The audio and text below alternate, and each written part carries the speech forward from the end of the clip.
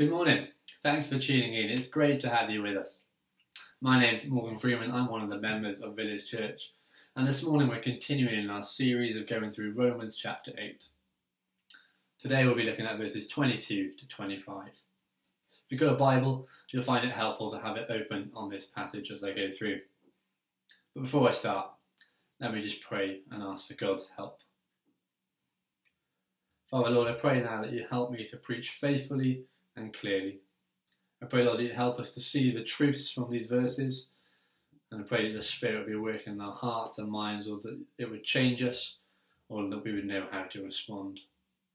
I pray these things in Jesus' name. Amen. It's 6 a.m. on a Saturday morning, first day of the school summer holidays. I've just got into the car with my sister, mum, and dad, and we're on the way to St Ives in Cornwall from Bridgend, South Wales. I'm so excited. I can't wait to be on the beach digging holes, making the biggest ever sandcastle.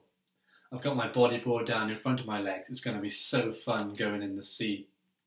Ice cream every day, maybe twice if I'm a good boy. And I might even put my feet up and catch some rays. Holiday, here I come. It's now 7am and we're on the motorway. We've only just gone over the Severn Bridge. Mum, are we there yet? No, not yet, Morgan. 7.15. Mum, are we there yet? Does it look like we are? No, not yet. 7.20. Dad, are we there yet? Because he might give me a different answer. No, it's going to be a little while. Sit patiently, it will be worth it. It will be worth it. The passage we are looking at this week starts at verse 22. Let's jump straight in. We know that the whole creation has been groaning, as in the pains of childbirth, right up to the present time. We saw this last week. Verse 20. Creation was subjected to frustration by God, but in hope. Verse 21. That it will one day be freed from its bondage to decay and brought into the freedom and glory of the children of God.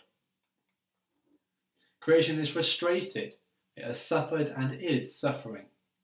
But verse 19 creation is waiting in eager expectation for us.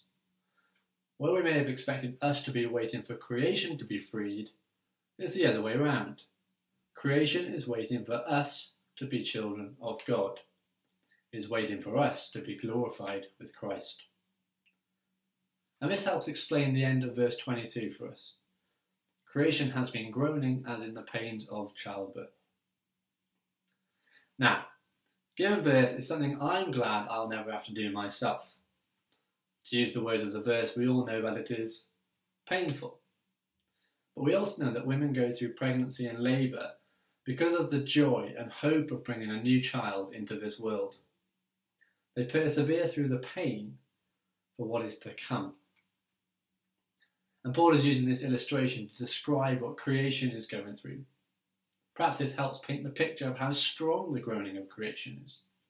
This is not just a uh or a sigh from a teenager or an adult, we all do it.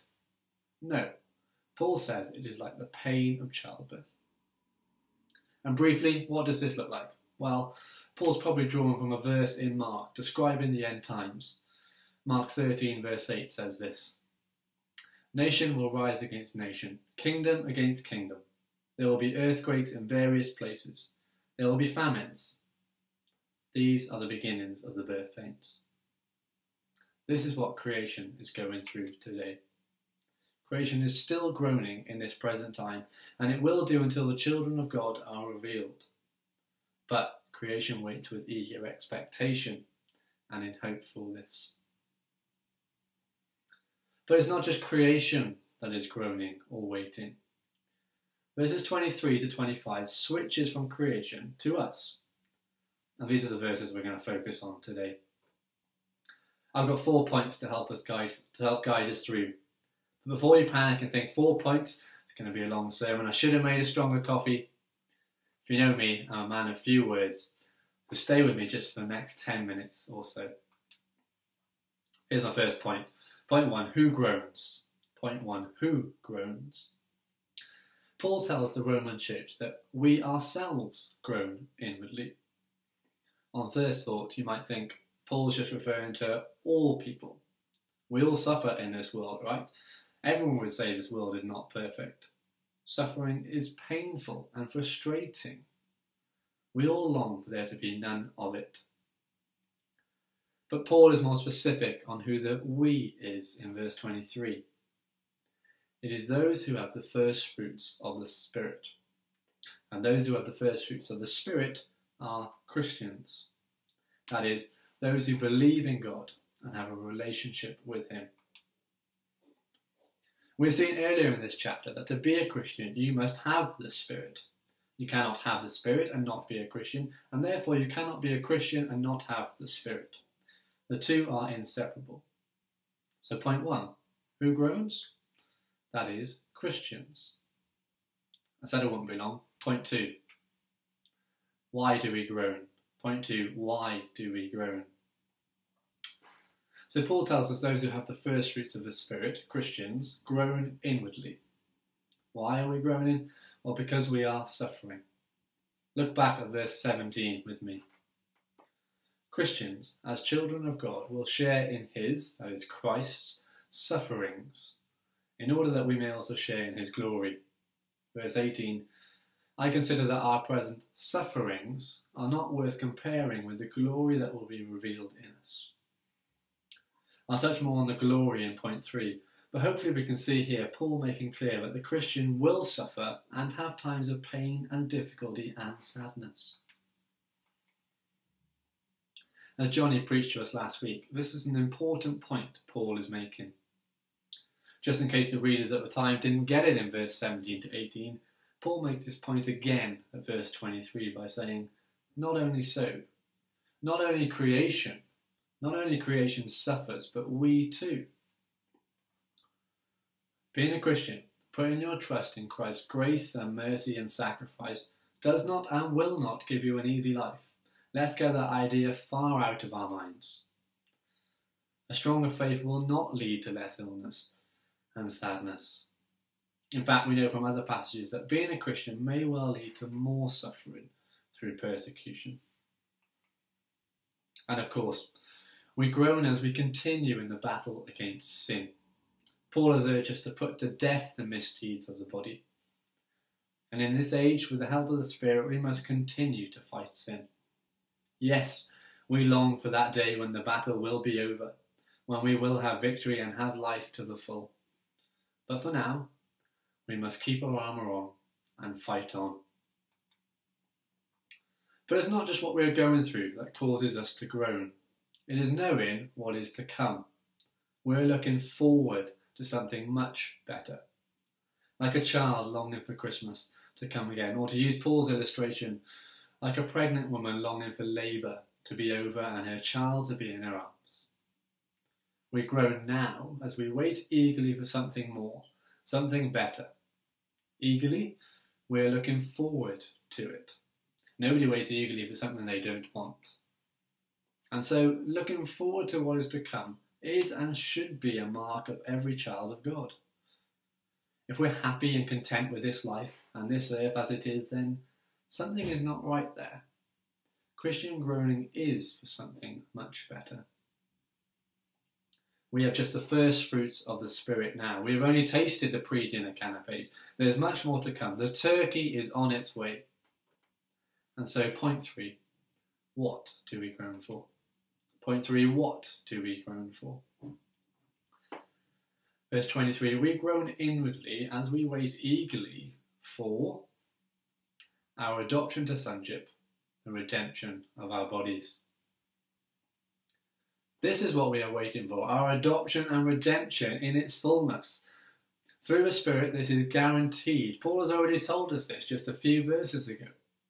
Look at the second half of verse 15 the Spirit you received brought about your adoption to sonship. And verse 11 And if the Spirit of Him who raised Jesus from the dead is living in you, he who raised Christ from the dead will also give life to your mortal bodies because of the Spirit who lives in you. Therefore, We are not waiting or hoping with optimism. This is not like entering a lottery hoping your numbers might come up. No, this is like running the Marathon World Championships knowing you will win. You just have to finish. We are waiting with confidence, and so we can wait eagerly. It will come one day, not might. It will be worth the wait. Just to be clear here, Paul is not contradicting himself here and saying that we are not already children of God. We are adopted. Verse 15 makes that point. We are legally adopted. Christ has paid the price on the cross, but the full experience of adoption is not yet. While we're on this imperfect earth, we know it is not quite right. There is more to come. Our adoption in its fullness will come on that great day when we share in Christ's glory. And so too with our bodies. These mortal bodies we have today will one day die. That is obvious. But we look forward with confidence to the day when we will have a new body. Verse 24 This is the hope we have. Who hopes for what they already have? Nobody does. We hope for what we do not yet have. We've already seen that Paul in this passage is talking about Christians groaning. And what I've just said is what Christians groan for. And so I'm afraid this does mean that if you're not a Christian, whilst you may groan about the difficulties you face in life, I'm afraid you groan with no hope. You cannot have any confidence of anything better to come. This is it. You'll miss out unless you turn to God and put your trust in Him and in Christ's death and resurrection. If this is you, can I urge you to really think about this? Don't let this just be another sermon gone by. But for Christians, Christians who have this great hope, how do we respond? Point four what do we do now? What do we do now? How are we to respond to these truths? Verse 25. But if we hope for what we do not yet have, we wait for it patiently. We hope with faith in God's promises of what is to come, the promise of redemption of our bodies and adoption in its fullness. And we wait. Do you notice how many times Paul has used the word wait or hope in these recent verses? Let's have a look. Verse 19 creation waits. Verse 20 Creation is subject to frustration, but in hope it is waiting. Verse 23 Not only so, but we ourselves wait eagerly. Verse 24 Hope is mentioned four times. We don't wait for what we already have. And verse 25 But if we hope for what we do not yet have, we wait for it patiently. What do you think Paul is trying to tell us here? If you had one of those word clouds where everyone gives their answer to a question and the answers get, that get put forward the most appear biggest in the word cloud, wait, waiting, and hope would be the biggest words right in the centre by far. So we wait for it, eagerly and patiently, until that day comes. It will be worth the wait, as verse 17 says, our present sufferings, including our battle with sin, is not worth comparing with the glory that will be revealed in us. So, if you're a Christian, be excited for what is to come, what is promised. Let's encourage each other in this, to persevere in faith through what it is we are going through. Oh, what an encouragement it is to the church when we see a member persevering through the suffering they are going through with eyes fixed on Jesus. Oh, what an encouragement it is to see members of Village come together to pray together to God in the midst of our suffering and groaning. Oh, what an encouragement it is to see each other at home group, even on Zoom, helping one another persevere in the suffering we each go through as we eagerly wait for something better to come. And oh, what an encouragement it is to see brothers and sisters in Christ put to death the misdeeds of the body, and mature as Christians while we wait. As a church, we will groan. How long, Lord? Bring us home. We are looking forward to that great day. So let's encourage each other regularly in these ways and others. God will not leave us alone. He will help us by the Spirit, as we will hear about next week, but also through His Word. Chapter 15, verse 4 tells us For everything that was written in the past was written to teach us, so that through the endurance taught in the Scriptures and the encouragement they provide, we might have hope. God has given us His Word to encourage us and to teach us patient endurance. Hopefully, earlier on, you would have seen a short video on hope by the Bible Project. Did you catch what it said at the end?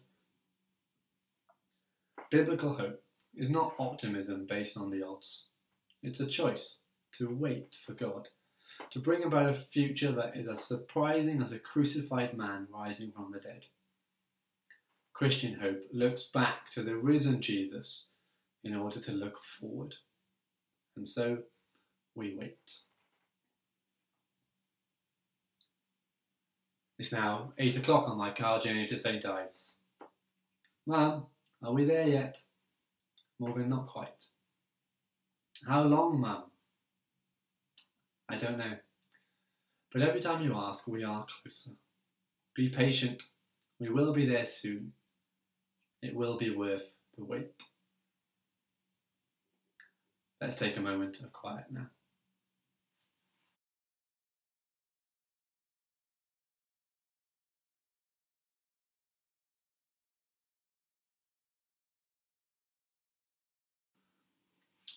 Let me pray before our last song. Heavenly Father, we do not know how long we must wait.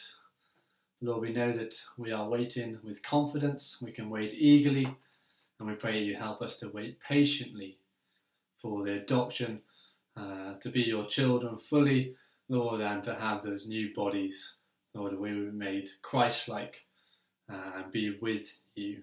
Lord, we long for that day when we will share in your glory. And we pray, Lord, that we'd encourage each other to wait patiently and eagerly for that day. We pray these things in Jesus' name. Amen.